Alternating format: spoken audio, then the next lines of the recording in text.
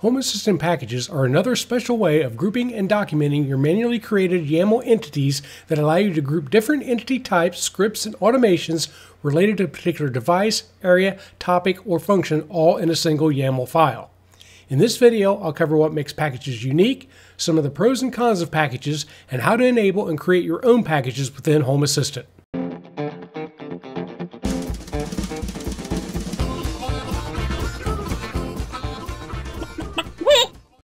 Hi and welcome to ResinChem Tech. I did a previous video on splitting out your Home Assistant configuration to better organize your manually created YAML entities. In that video, I talked quite a bit about the main configuration.yaml file, some requirements of YAML, and also the actual process of how to move your YAML from one file to another. If you're not familiar with any of these concepts, I really recommend that you watch that video first and I will throw it up here and leave a link to it down in the video description. This video is going to assume you at least have some of that basic knowledge already. Home Assistant packages offer yet another way to organize your manually configured YAML entities. It has some disadvantages and some advantages, and I'll talk about those along the way. But for now, let's go ahead and get started and take a look at how Home Assistant packages are created and used and how they differ from a split configuration. And just a quick recap, when we're talking about split configuration, that allows you to take things out of your one great big configuration.yaml file and split them out into individual YAML files. So you can take all of your sensors, all of your switches, all of your lights, whatever else you might have, split those out into individual YAML files that are included in the main configuration.yaml. This definitely helps make your configuration.yaml a little more manageable and can make it easier to find and edit your entities later on. But there is at least one problem with split configuration that packages can help solve.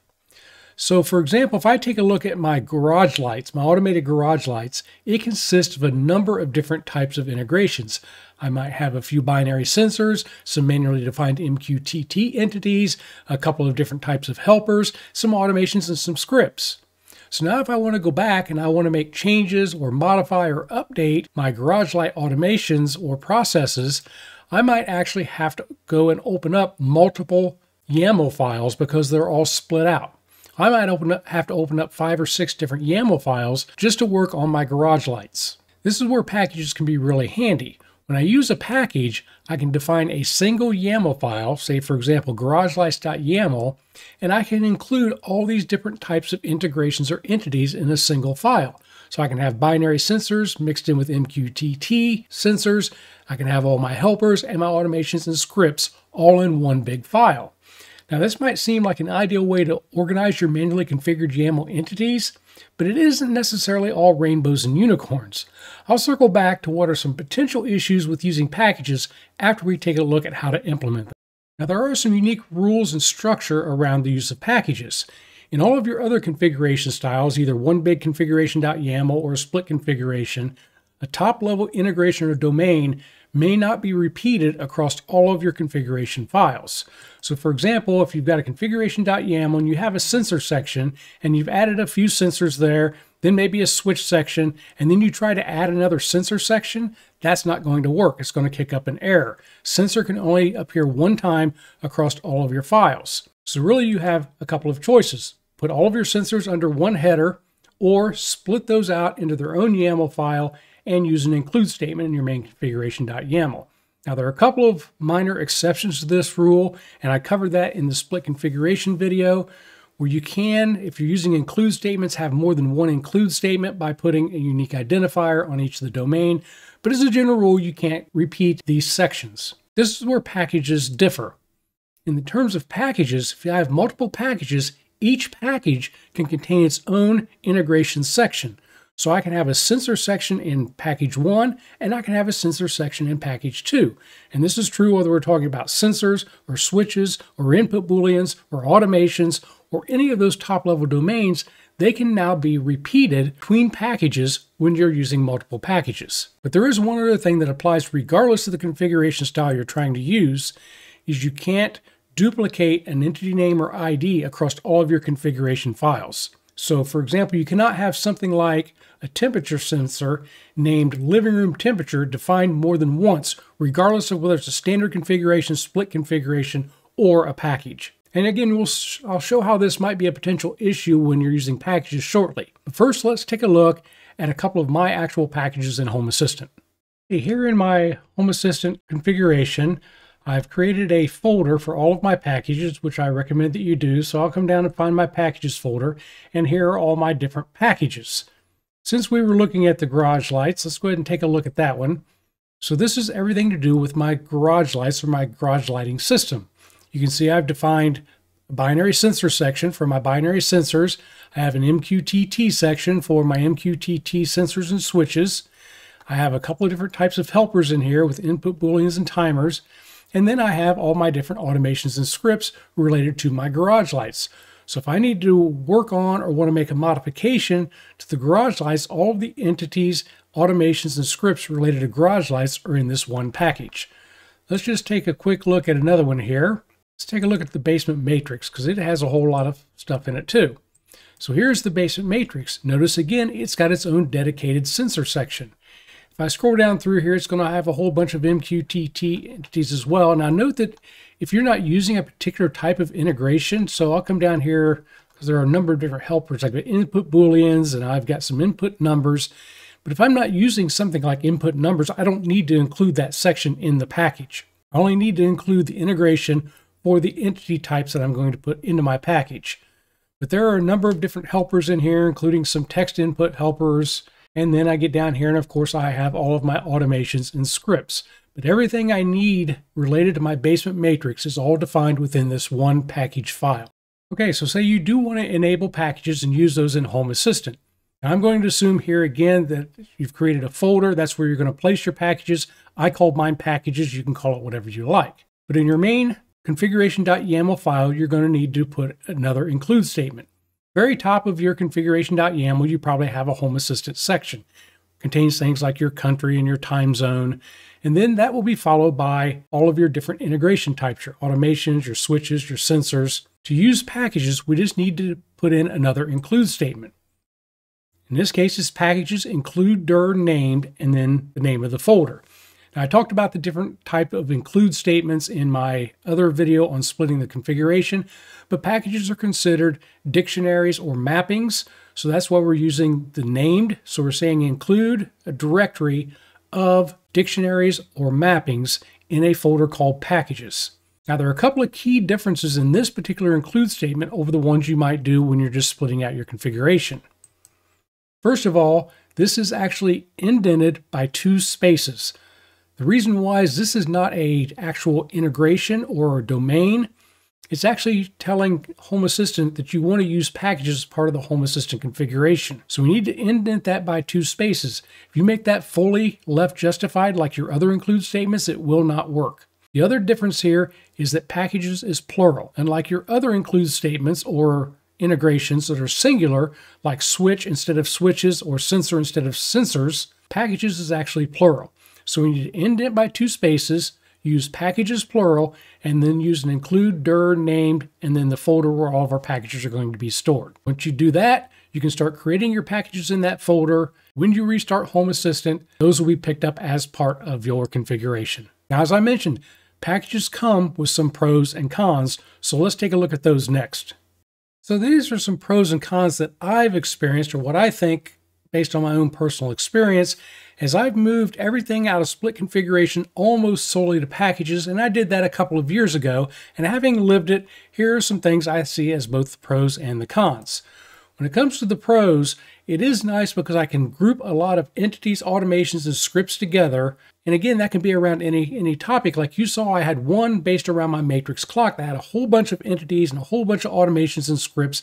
I can put that in one file or it can be around a particular area or room in your house, like your living room, or it could be something like my garage lights. So you can really group these things any way that you want, but it's nice to be able to put all those types of entities, scripts, and automations into one file. It does allow you to repeat those domains or integration as needed for each of your packages.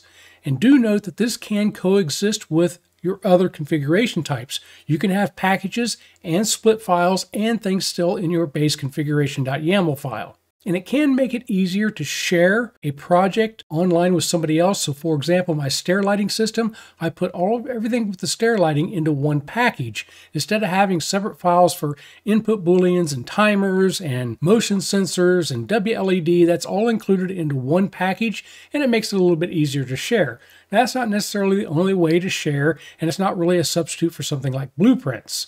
Either way, it's probably still going to require the user to either split things out of that package if they're not using packages, and they're probably going to have to rename some entities regardless. But now let's take a look at a few of the cons here. This doesn't resolve the issue that natively integrated devices still aren't going to be part of your package file. If you've got something that's a native Zigbee integration or ESPHome or MQTT, you can't define an entity twice, so it's not going to be able to be part of your package. And since entities can't be duplicated, you might have some sort of entity that is going to be shared across a couple of different packages that you might create. So you have to figure out exactly where you're going to put that shared entity. And do note it can be time consuming to migrate with a lot of possibilities for errors because you're copying and pasting, you're adding spaces, you're removing spaces. So there are a lot of potential errors there as you migrate, or in some cases, which I've been considering, migrating out of packages back into a split configuration. So let me try to explain a couple of these cons with some examples. So let's say I'm working with a split configuration, and right now I want to focus on sensors. So I've got my include statement in my configuration.yaml file. That also means I have a sensors.yaml config file split out. Now do note I also have defined a thermostat or climate, and I've left that in my main configuration.yaml file because I only have one, but it probably has some sensors as part of that integration as well. Okay, now maybe I've defined a few packages, maybe one around everything in my living room, another one to do with environment in my home, and then maybe I even have one things around mornings because I want to have the thermostat change when I get out of bed in the morning. So all that's well and good.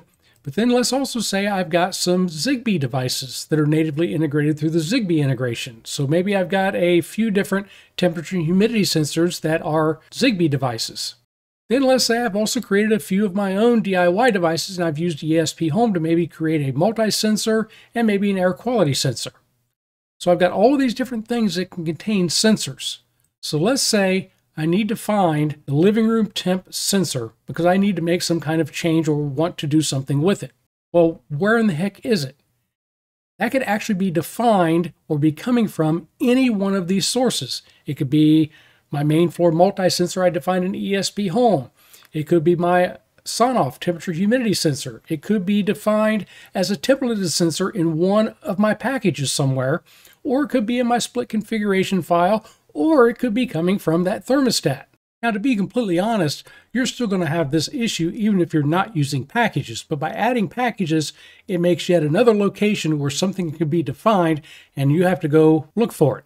This may not seem like an issue when you first start out with Home Assistant, but once you get hundreds or possibly even thousands of sensors defined across all these different locations, finding it can actually be very difficult. The One thing you can do to help possibly identify where this particular sensor lives is you can go to your settings and your devices and services and go to your entities tab and search for your entity.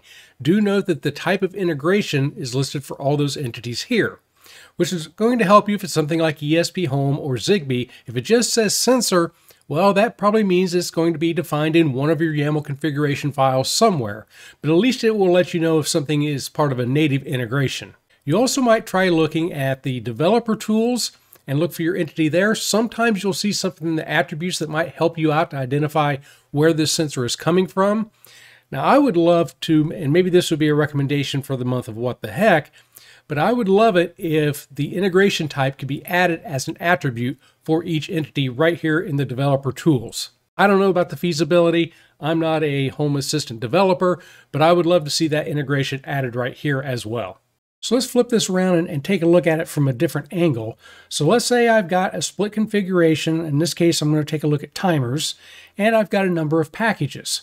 Well, let's say I have, I want to create a do not disturb timer. Well, that do not disturb timer really needs to be used by multiple packages. So I can create this timer do not disturb entity, but where do I put it? Which one of these packages do I put it in because all four of them are going to use it? Well, I could put it in my main split configuration file and kind of consider that my global or my shared entities that might be used by multiple packages. But again, that kind of defeats the idea of having everything in one package. So there isn't a good answer. You can't create more than one timer do not disturb because every entity has to have a unique name. What I've opted to do personally is each of my packages contain a comment section at the top, and that comment section includes entities used by the package that aren't defined in the package. So for example, my garage lights use a couple of Zigbee sensors, a couple of ESPHome devices, and in this case, right there, you see that timer do not disturb. And I'm putting in my documentation that that is defined in my voice.yaml package. So at least by when I open this up, thinking, okay, well, I've got this garage door sensor that works with my garage lights. I go to my garage lights.yaml. Oh, look, that's a Zigbee integration. So now I need to go over to Zigbee to be able to find, modify, or change that device. It's not an ideal solution, but it's the best one I've come up with for ways to still reference everything in a package, including those devices that might not be defined in that package and are defined elsewhere. Now, the process of moving your YAML over to packages is very similar to the way it was done with the split configuration. The only thing, again, we have to be aware of is this two-space indentation of our entities.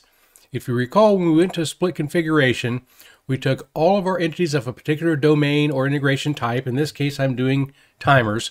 We cut that out of there, put it into its own file, but recall that we had to remove those two spaces. Then back over in our main configuration file, we just simply put our include statement in there, restarted Home Assistant, and we were good to go. So if we do want to implement packages, we have to come back up here like I showed before, and we need to add our packages include statement. Remember that is indented, two spaces, and in this case, it's going to use a folder that I've created called packages. Now let's say I've already got a package created for my garage lights, but now I want to take this garage motion timer out of the global timers.yaml file and I want to move it into the package. Well, it's pretty easy to do. The first thing we need to do in our package itself is we do need to create a timer section. Once we have that, we can come over here and we can actually take just this timer entity out of the global package and we can come over here and we can paste it in. But note, now we need to go back and we need to add back those two spaces that we removed before. Of course, if you're coming directly from your configuration.yaml, those two spaces will already be there and you won't have to add them back. That's all there is to it. Now we simply save our files and we reload timers or we restart Home Assistant. These can eventually be split out into their own packages or you can leave them in the timers.yaml global file. What's nice about this is you can move things slowly as you create new packages and you can mix and match by having some things in a global split out configuration file and other things in a package. Just remember that you can't duplicate a name or an ID across all of your YAML. So Home Assistant packages offer yet another way to organize your manually created YAML entities in Home Assistant. The nice thing about packages is they're not all or none. You can have packages in combination with split configuration files and your main configuration.yaml file. Now me personally, I moved everything into packages, and in hindsight, I probably would have left some things in their individual split configuration files and maybe revert back to that at some point in time, just to make things a little bit easier to find in some situations. Now, if you're new to Home Assistant, you might think you're never going to need this. And as the UI editors get better and better, there is a little less need to go out and create manual YAML entities. But as your Home Assistant grows, there probably will become a time when that will be necessary for you. And it's better to have an organizational structure in place from the start than it is to try to split out hundreds or even thousands of entities that are in one great big main configuration.yaml file. So you might want to think about what organizational structure works best for you and go ahead and get that set up knowing that it's not permanent. You can go to a split configuration now and to packages later or from packages now and then back to a split configuration later. I'll be back down the road with more Home Assistant 101 videos. But until that time, I'd like to say thank you for watching and I hope to see you soon.